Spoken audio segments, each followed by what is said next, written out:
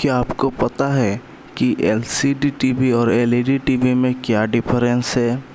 जानेंगे इस वीडियो में। इस वीडियो को एंड तक देखिए। नए हैं तो चैनल को प्लीज़ सब्सक्राइब कर दीजिए और बेल आइकन को प्रेस कर दीजिए, क्योंकि हमारे आने वाले नए वीडियो की नोटिफिकेशन आपको सबसे पहले मिले। तो चलिए शुरू करते हैं। पहले बात करते हैं LCD TV okay. LCD TV का जो फुल फॉर्म है, एलसीडी मतलब liquid crystal display, okay?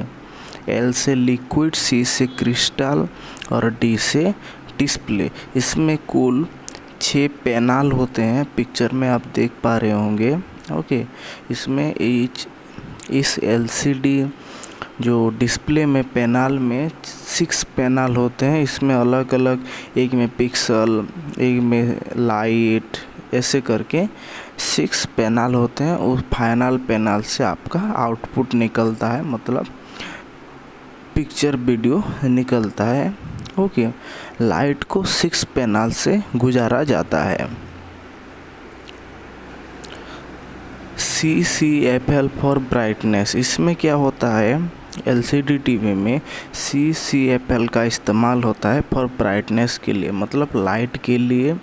Okay liquid crystal display होता है और उसके बैक साइड में सी सी एफ़ एल का बल्ब लगा होता है, जो ब्राइटनेस के लिए यूज़ होता है। और पिक्चर में आप देख पा रहे होंगे, ऐसा दिखता है C C F L okay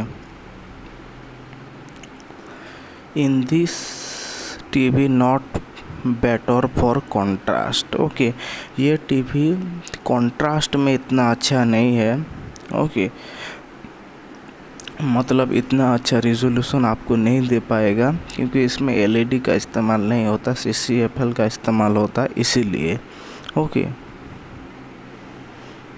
colour combination is not better इसमें क्या है? कलर जो कॉम्बिनेशन है मतलब जो पिक्चर का वीडियो का, जो कलर है, उतना अच्छा नहीं है। मतलब मतलब ब्राइटनेस अच्छा नहीं है। कॉम्बिनेशन जो है, उतना अच्छा आपको नहीं मिलेगा। फिर बात करते हैं एलईडी टीवी ओके।